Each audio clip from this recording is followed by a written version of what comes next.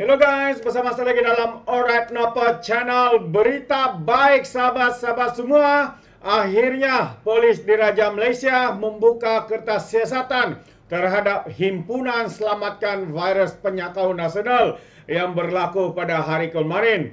Dan apa yang apa yang uh, memberikan membuatkan ya polis membuka siasatan walaupun himpunan itu dikatakan ya tidak ada kejadian yang tidak diingini tetapi kejadian uh, himpunan itu sebenarnya tidak mempunyai permit. Uh, maksudnya mereka melanggar akta perhimpunan aman. Ya, jadi kenyataan daripada terkini ya daripada uh, pihak polis ini ya sangat mengejutkan kita. Apa pun ya menarik juga untuk kita ikuti apa sebenarnya yang berlaku dan siapakah yang bakal disiasat ya di dalam perkara ini.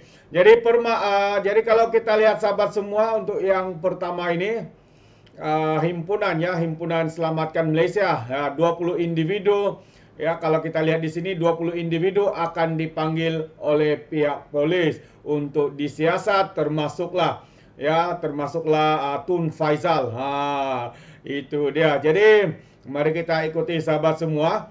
Ahli Jabatan Kuasa Sekretariat Tun Faizal Ismail Aziz mengesahkan mereka dipanggil untuk beri keterangan di IPD Dangwangi hari esok. Ya, polis membuka kertas siasatan berhubung Himpunan Selamatkan Malaysia yang diadakan di Kuala Lumpur semalam. Ketua Polis Kuala Lumpur, Alauddin Abdul Majid berkata, siasatan itu dijalankan mengikut Akta Perhimpunan Aman 2012. Ya, katanya kita sudah buka kertas siasatan dan akan memanggil mana-mana individu yang dapat membantu siasatan. Mereka akan dipanggil untuk rakaman keterangan dalam masa terdekat, katanya menurut Harian Metro.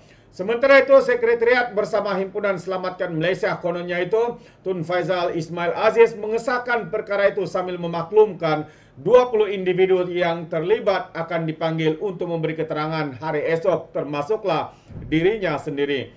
Katanya, mereka diminta hadir pada jam 10 pagi di IPD Dangwangi. Ya, dan dia mengesahkannya esok jam 10 pagi ada 20 orang yang terlibat dengan program Selamatkan Malaysia semalam akan dipanggil ke IPD Dangwangi antara mereka yang dipanggil yang berucap katanya yang juga ahli dewan uh, tertinggi muafakat nasional kepada FMT. Ya jadi saya masih ingat lagi sahabat semua kalau mereka mengatakan ya polis zalim ini ada arahan kerajaan ya ketika ya uh, Datuk Seri Anwar Ibrahim dan juga pimpinan-pimpinan daripada Pakatan Harapan juga membuat himpunan eh mereka juga uh, turut disiasat. Bukan itu saja Datuk Seri Anwar Ibrahim turut dipanggil untuk diambil uh, keterangan disiasat uh, Mat Sabu dan juga beberapa pimpinan utama daripada Pakatan Harapan. Jadi tiada alasan untuk mereka mengatakan polis ya uh, menerima arahan kononnya untuk menekan mereka. Sebab ini adalah hakikatnya sahabat semua. Ini adalah tanggungjawab ya polis di Raja Malaysia untuk melakukan ya uh, tanggungjawab ataupun kerja mereka ya untuk menjaga keamanan untuk memastikan tiada apa-apa berlaku seperti mana semalam walaupun tiada yang uh, ber, uh, perkara diingini yang berlaku. Tetapi masalahnya eh apa yang dibuat oleh pemimpin ataupun himpunan selamatkan Malaysia kononnya ini yang pada pandangan saya hanya bertujuan untuk menyelamatkan kroni-kroni pemimpin mereka yang terpalit dengan skana-skana rasuah, ya pengumpulan uang haram, suapan dan sebagainya. Jadi uh, Selain itu juga Tun Faizal juga antara pemimpin politik yang menghadiri himpunan tersebut. Badul Hisham, Syaharin atau dikenali sebagai Cik Ubat, Ketua Penerangan Bersatu, Razali Idris, Ketua Penerangan Pejuang, Rafiq Ras, Rashid Ali, Adun Taman uh, Medan, Dr. Rafiq Bahardin, serta Ketua Penerangan Pemuda PAS, Nazir Helmi. Eh ada pula yang uh, berdegar-degar kononnya untuk mengadakan himpunan ini dikatakan tidak hadir kerana sakit perut dan sebagainya. Jadi sementara itu Rasali ketika dihubungi memaklumkan uh, beliau belum menerima sebarang pemakluman baru mengarahkan hadir memberi keterangan. Saya semalam hadir tapi tidak berucap. Saya pun pakai baju merah. Saya hadir untuk meraihkan himpunan bersama. Tapi kalau kena panggil, beri, beri keterangan tidak ada masalah. Saya boleh hadir katanya.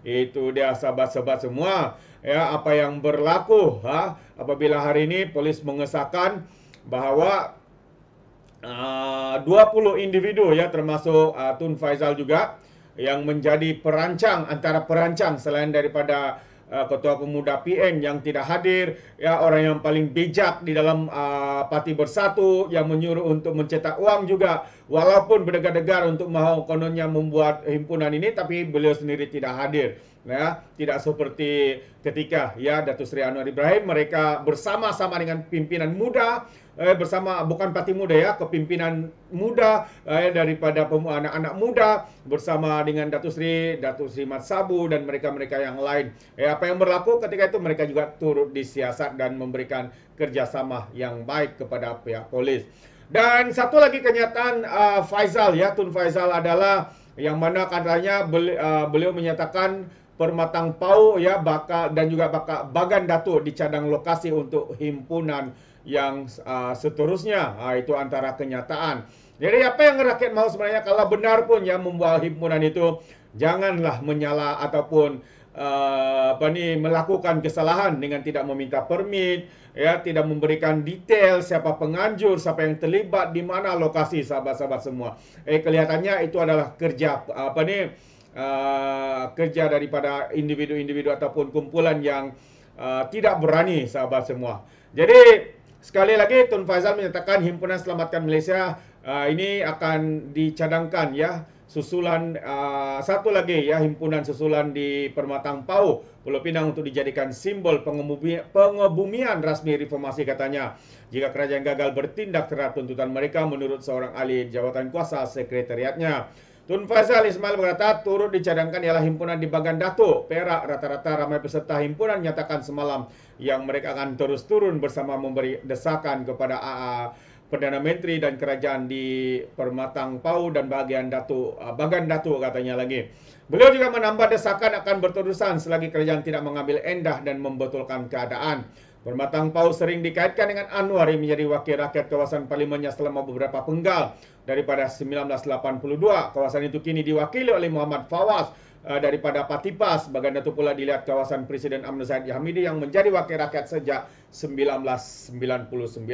Jadi Permatang Pau adalah uh, antara kejutan ya yang berjaya di, uh, dirampas oleh Patipas. Ya, kerana kita tahu ya seperti mana yang mereka lakukan. Mereka menang pun ya dengan uh, dengan adanya agenda uh, fitnah, tuduhan, menakut-nakutkan bang uh, apa ni orang Melayu, kononnya mereka uh, bangsa Melayu agama akan terancam sekiranya menyokong calon daripada Pakatan Harapan dan akhirnya mereka yang tidak punya pengetahuan yang mudah ditipu, mudah diperbudakkan, dipermainkan akhirnya tertipu dan memberi undi kepada calon daripada PAS ini sahabat-sahabat semua. Jadi jelaslah ya bahwa ini adalah satu lagi kenyataan ya daripada Tun Faizal yang kononnya akan membuat himpunan susulan ha, di Permatang Pau dan juga di Parlimen Bagan Datu di mana eh, Timbalan Perdana Menteri ketika ini Zain Hamidi bertanding.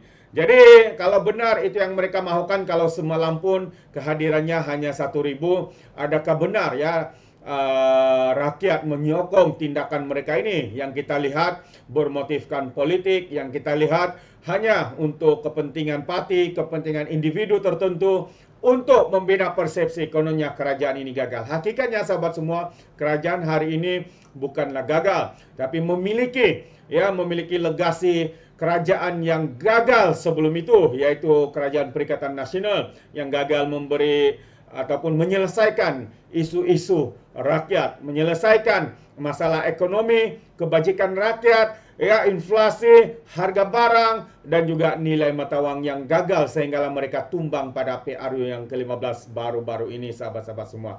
Jadi sampai ini saja apa yang saya ingin sampaikan, itu sedikit pandangan saya berkaitan dengan isu ini. Jadi sekali lagi kiranya sahabat-sahabat ingin memberikan sebarang komen, Anda boleh berikan komen Anda dalam ruangan komen tapi ingat komen dengan cara berhemah. Jangan menjadi seperti walan-walantit lebay-lebay dan juga geng sapu bersih apabila memberikan komen penuh dengan hasutan, kebencian dan juga fitnah melampau. Sepertinya mereka tidak punya otak, mungkin kerana otak mereka tertinggal di dasar Laut Cina Selatan. Jadi sekali lagi izinkan saya untuk mengundurkan diri dan seperti biasa peribahasa mengatakan Tapapun kangkap dua tahun keinginan. Dalam bahasa Melayu, tebuk dada, tanya selera. Sekian saya daripada Orang Dapat Channel. Saya kita berjumpa lagi. Bye-bye.